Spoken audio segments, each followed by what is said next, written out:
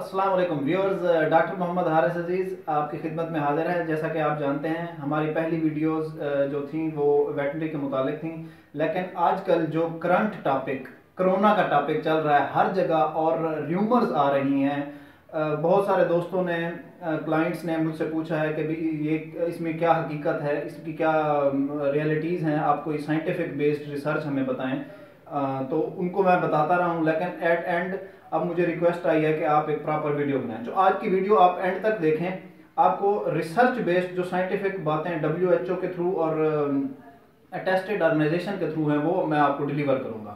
اچھا آپ دیکھیں گے کہ آپ کو بہت اچھی معلومات کم وقت میں میں آپ کو ابھی کوئکلی کوئکلی ریویو کرا دیتا ہوں۔ سب سے پہلے آپ چینل کو سبسکرائب کر لیں، اگر آپ نے ابھی تک نہیں کیا، تو چلتے ہیں ویڈیو کی طرف۔ آ جائیں۔ اچھا ویورز، اس کی ہسٹری کیا ہے؟ کرونا کی ہسٹری یہ ہے کہ دو ہزار دو سے دو ہزار تین کے درمیان انسانوں میں ایک ایپیڈیمک آتی ہے جس کو سارس کا نام دیا جاتا ہے، جو کہ سویئرلی ایکیوٹ ریسپیریٹری سنڈروم ہے۔ یہ جانور، جانوروں سے بیماری شروع ہوئی جو کہ بیٹ سے، چمگادڑ سے شروع ہوئی اور وہاں سے انسانوں میں منتقل ہو گئی۔ سوری اچھا جب وہاں پہ بیماری مکمل طور پہ منتقل ہو گئی تو اس کو سارس کا نام دیا گیا اور یہ بیماری دو ہزار دو سے تین کے درمیان چائنا سے ہی شروع ہوئی تھی۔ اس ٹائم اس میں سب سے زیادہ جو ملک متاثر ہوئے تھے وہ چائنا اور ہانگ کانگ تھے۔ چائنا اور ہانگ کانگ اس کے بعد یہ پھیلتی ہوئی بیس سے پچیس ممالک تک پہنچی اور ڈبلیو ایچ او نے اس کو ایک ایپیڈیمک دیا۔ بیسیکلی کیا تھا؟ یہ کرونا کی ہی ایک بڑی فیملی تھی جس کی آگے سب کلاسز تھیں۔ اب کیا ہوتا ہے؟ اس ٹائم بیماری پہ قابو پا لیا گیا، لیکن وائرس اندر اندر پلتا رہا۔ جانوروں کے اندر وائرس موجود تھا، جو کہ دو ہزار بارہ سے تیرہ کے درمیان دوبارہ اٹیک کرتا ہے مڈل ایسٹ کے اندر۔ مڈل ایسٹ کے اندر ایک بیماری وجود میں آئی، جو کہ جس کا نام انہوں نے رکھا Middle East Middle East respiratory syndrome MERS کے نام سے اس بیماری کو یاد کیا جاتا ہے۔ سعودی عربیہ میں اس کا پہلا کیس آیا، اس کے بعد قطر، بحرین، یو اے ای اور یہ تمام گلف پینیسولیا سے اٹھ کے یہ بیماری پوری دنیا گلوب میں پھیل گئی۔ اس کے یہ بھی کرونا وائرس کی ہی ایک شکل تھی۔ اس کے بعد کیا ہوتا ہے، بیماری پہ قابو پا لیا جاتا ہے، بیماری ختم ہو جاتی ہے۔ لیکن جانوروں کے اندر بیماری، بیٹس کے اندر اسپیشلی جو چمگادڑ ہیں، ان میں پلتی رہتی ہے۔ یہ بیماری مرس جو مڈل ایسٹ میں آئی تھی، یہ اونٹوں کے اندر آئی تھی۔ اونٹوں سے یہ بیٹس چمگادڑ میں چلی گئی اور چمگادڑوں سے چمگادڑ میں یہ وائرس پلتا رہا۔ میوٹیشن ایک ایسا عمل ہے جس میں وائرس اپنی شکل تبدیل کر لیتا ہے۔ میوٹیشن کے بعد اس وائرس نے اپنی شکل تبدیل کی اور اب جو کووڈ نائنٹین وہان کے اندر شروع ہوا، وہاں پہ چمگادڑ چمگادڑ سے یہ منتقل ہوئی پینگولن میں اور پینگولن جو وائلڈ لائف مارکیٹ تھی چائنا کی، وہاں سے یہ بیماری پوری دنیا میں اب پھیل چکی ہے۔ ویورز اس ٹائم 159 آلموسٹ تمام کنٹریز اس کی لپیٹ میں ہیں۔ سب سے جو ہمارے پاس ہائیسٹ فگرز ہیں، وہ چائنا، اس کے بعد اٹلی اور اس کے بعد ساؤتھ کوریا۔ اس جب بیماری چائنا سے پوری دنیا میں پھیل چکی ہے، اب ایک خوشخبری ہے۔ خوشخبری یہ ہے کہ چائنا اور ساؤتھ کوریا میں کیسز کم ہونا شروع ہو گئے ہیں۔ نیو کیسز نہیں آ رہے۔ ان کی وجہ کیا ہے کہ اب ان کو ایک تو بیماری کا پیٹرن پتا چل چکا ہے، دوسرا انہوں نے جو پریونٹیو میئرز ہیں، عوام تک وہ پہنچا دی ہیں۔ تیسری بات یہ ہے کہ پی سی آر ٹیسٹ جو ہے اس بیماری کا، وہ انہوں نے کامن کر دیا ہے۔ اور اب سینیٹائزیشن اور جو سوشل ڈسٹینسنگ ہے، وہ انہوں نے سٹارٹ کرا دی ہے۔ اس ان تمام وجوہات سے بیماری پہ قابو پا لیا گیا ہے۔ اچھا اب ہم چلتے ہیں، بیماری کیسے شروع ہوتی ہے؟ بیماری اسی فیصد عوام اسی فیصد پاپولیشن کے اندر علامات ظاہر ہی نہیں ہوتی۔ بیس فیصد ایسے لوگ ہیں جن کے اندر علامات ظاہر ہوتی ہیں۔ وہ علامات کیا ہیں کہ تین میجر سائنز ہیں۔ پہلا پہلا ہے کھانسی، دوسرا ہے کہ بخار ہوگا، تیسرا ہے کہ اس کا سانس جو ہے نا، وہ پھول جائے گا، سانس رکنا شروع ہو جائے گا کیونکہ اس کے لنگز افیکٹ ہو رہے ہیں۔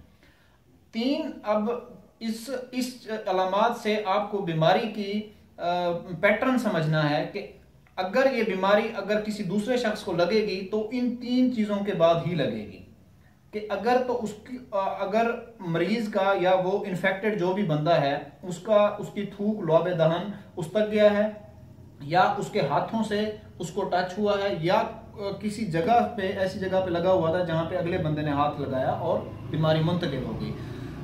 آسان لفظوں میں یہ ایک چھوت کی بیماری ہے جو ایک بندے سے دوسرے اور دوسرے سے تیسرے میں بڑھتی جا رہی ہے۔ اس کا ایک آر ناٹ فیکٹر ہوتا ہے، وہ تھوڑا سا کمپلیکیٹ ہو جائے گا بات بتانا، لیکن اس کا مینشن میں یہ کرتا چلوں کہ یہ ایک سے زیادہ بندوں کے اندر منتقل ہونے کی صلاحیت رکھتی ہے بیماری۔ میں آپ کو بتا رہا تھا کہ بیماری ایک شخص سے دوسرے میں کیسے لگتی ہے، اسے کہتے ہیں لوکل ٹرانسمیشن ایک سے دوسرے بندے میں۔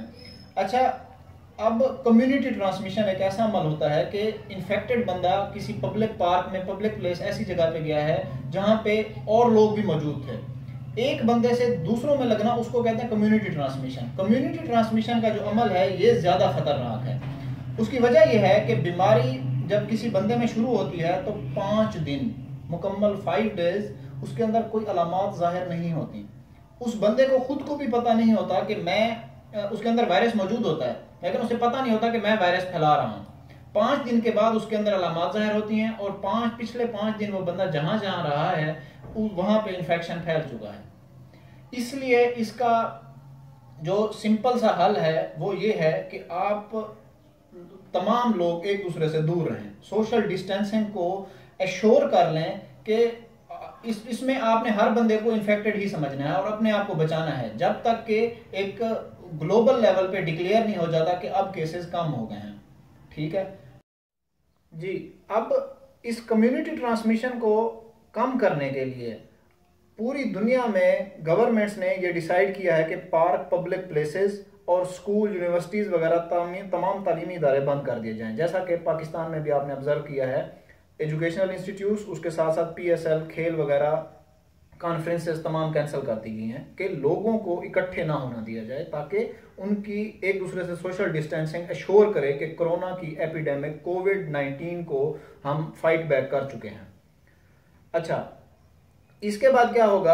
اگر آپ کوئی کوئی بھی بندہ جس کے اندر کچھ علامات ظاہر ہو چکی ہیں یا کسی کو سانس لینے میں مشکل ہے، کوئی کھانسی کر رہا ہے، اس کا مطلب یہ نہیں ہے کہ اس کو کرونا ہے۔ اس کا مطلب ہے کہ اور بھی کافی بیماریاں ہیں۔ کرونا فیملی سانس کی بیماریوں کا ٹوٹل کا صرف 25% پرسینٹ کاز کرتی ہے۔ باقی 75% پرسینٹ دوسری بیماریوں سے ہوتا ہے۔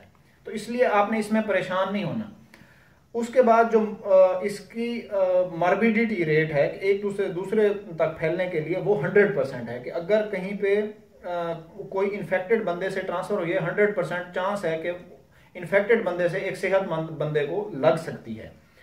اچھا جو مارٹیلٹی ریٹ ہے، جو شرح اموات ہے، وہ اس کی بہت کم ہے، وہ تھری پرسینٹ ہے۔ تھری پرسینٹ کو آپ اس لیے زیادہ کر سکتے ہیں کنسیڈر کر سکتے ہیں ایک لحاظ سے کہ سو میں سے تین بندوں کے چانسز ہیں مرنے کے۔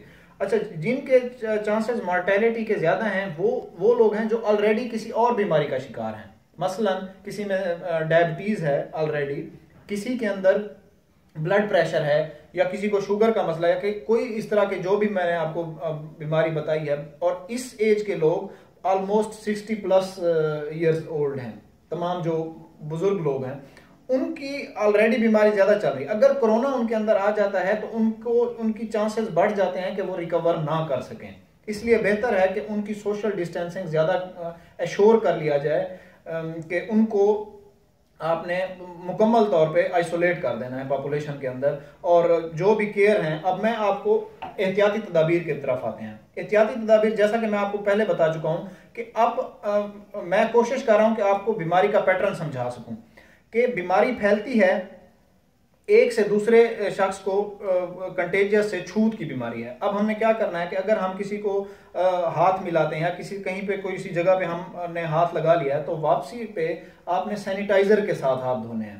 صابن کے ساتھ اشور کر لیں۔ صابن کے ساتھ وائرس نہیں مرے گا۔ صابن کے اندر کوئی بھی ایسا کیمیکل نہیں ہے جو وائرس کو مار سکے۔ اس کے لیے سینیٹائزر جس میں الکوہل بیسڈ ہو، اور اس سے جو ہے، یہ وائرس اگر اسے آپ ہاتھ دھوئیں گے اور بیس سیکنڈ تک rub it for twenty second base second تک رب کریں اور اس کے بعد جو ہے آپ کلین ہیں۔ آپ نے آپ کا جو آنکھیں اور کان، یہ ٹی بنتا ہے۔ ایک ٹی جو ہے، ٹی ریجن جو ہے، اس کو آپ نے سیف رکھنا ہے۔ اگر آپ گیا تو آپ نے اپنی آنکھوں اور ناک کو، منہ کو، ان چیزوں تمام چیزوں کو آپ نے سیف رکھنا ہے۔ یہاں پہ ہاتھ نہیں لگانے آپ نے گھر آ کے ہاتھ دھونے ہیں، پھر آپ نے اگر وضو وغیرہ کرنا ہے، جو بھی، پھر اس کے بعد آپ اپنے چہرے کو ہاتھ لگا سکتے ہیں۔ اس کے بعد سوشل ڈسٹینسنگ آپ سمجھ چکے ہیں اب تک کہ اس کو ہم نے کیسے ایشور کرنا ہے۔ اور اگر آپ کے بعض علامات ظاہر ہوتی ہیں آپ کے اندر، تو فوراً آپ نے متعلقہ ڈاکٹر سے رجوع کرنا ہے۔ بغیر کوئی حکیم کے نسخے، بغیر میں حکمت کو کچھ نہیں کہہ رہا، لوگوں کے جو واٹس ایپ پہ میسیجز آ رہے ہیں، ان کو آپ فالو نہ کریں۔ کائنڈلی جو آپ کے ہیلتھ پروفیشنلز ہیں، ان ان ان کو ایشور کرائیں جو ڈبلیو ایچ او کی ریکمنڈیشنز ہیں، ان کو ایشور کرائیں یہاں پہ ہر بندہ جو ہے وہ اپنی اپنی صلاح دے رہا ہے۔ یہ بہت غلط ہے، یہ ہم کمیونٹی کو مس گائیڈ کر رہے ہیں۔ ہمارا فرض یہ بنتا ہے کہ ہم ایک جو رائٹ انفارمیشن ہے وہ ہر کلیئر کرتا چلوں۔ جو افواہیں پھیلی تھیں کہ یہ گوشت کے اندر ہے، بکری کا گوشت، مٹن نہ کھائیں بیف نہ کھائیں، انڈے نہ کھائیں، یہ سب غلط ہیں، یہ ریومرز ہیں۔ وائرس ان کسی چیز میں نہیں ہے، نہ ان چیزوں سے پھیلتا ہے۔ وائرس جس انسان میں آیا ہے، اس انسان سے پھیلے گا۔ اب تک صرف ایک کیس ڈاگ کا رپورٹ ہوا ہے، کتے کے اندر جو مالک بیمار ہوا ہے کرونا سے اور اس کا کتا انفیکٹڈ ہوا ہے۔ اور اس کتے کو انہوں نے پھر ٹیسٹ کیا ہے، اس کتے کو کوئی فرق نہیں پڑا۔ پومیرینین بریڈ کا ڈاگ تھا ہانگ کانگ کے اندر۔ سیونٹین ایئرز اولڈ اور کافی بوڑھا تھا اور کچھ بھی نہیں ہوا۔ ففٹین ٹیسٹ کنزیکٹلی اس کے نیگیٹو آئے ہیں۔ تو اس کے بعد وہ کیس ختم ہو گیا تو میں آپ سب سے ریکویسٹ یہ کروں گا کہ گوشت بے شک وہ برائلر ہے، بیف ہے، مٹن ہے عام پولٹری ہے کچھ بھی ہے، ان کے اندر یہ چیز نہیں ہے۔ تو کائنڈلی آپ اس چیز کو اشور کر لیں کہ جانوروں جو جو ہمارے عام یہ جانور ہیں لائف سٹاک کے جانور ہیں، ان کے اندر یہ بیماری نہیں ہے۔ یہ کرونا وائرس اسپیشلی کووڈ جو ہے، یہ ہیومن ٹو ہیومن ٹرانسمیشن زیادہ ہو رہی ہے۔ اور جو اینیمل جو جن جانوروں میں ہے، وہ وائلڈ جانور ہیں، وہ ہیں چمگادڑیں۔ اور الحمدللہ یعنی ہمارے اس ایریا میں وہ جانور نہیں کھائے جاتے۔ اچھا اب اگر یہ علامہ، بیماری کی علامات آ چکی ہیں، اس کا علاج کیا ہے؟ علاج یہ ہے کہ وائرس کا عام طور پہ کوئی جو ہے نا، وائرس کی کوئی ٹریٹمنٹ نہیں ہے۔ کوئی بیکٹیریل بیماری ہو، اس کی ٹریٹمنٹ موجود ہے۔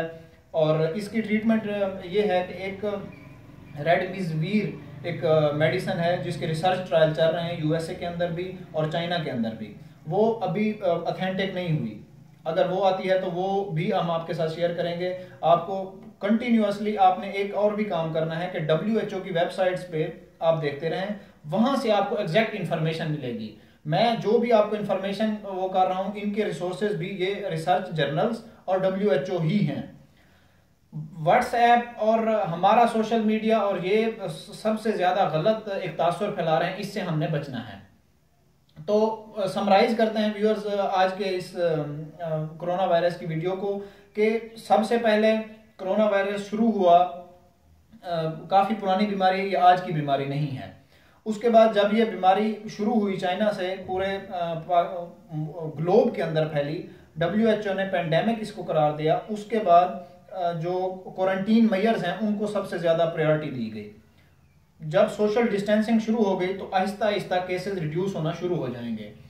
اب فیوچر میں ایک امریکی جرنل میں یہ بھی پیپر چھپا ہے کہ ٹیمپریچر سینسٹیو ہونے کی وجہ سے تھرٹی پلس سینسٹیو ہونے کی وجہ سے چانسز ہیں کہ جب موسم شدید ہوگا، تھوڑی سی گرمی زیادہ ہوگی تھرٹی پلس سے ٹیمپریچر اوپر جاتا ہے، تو وائرس کے جو ہے نا مرنے کا زیادہ ہے امکان کے اس کے بعد بیماری کم ہو جائے گی۔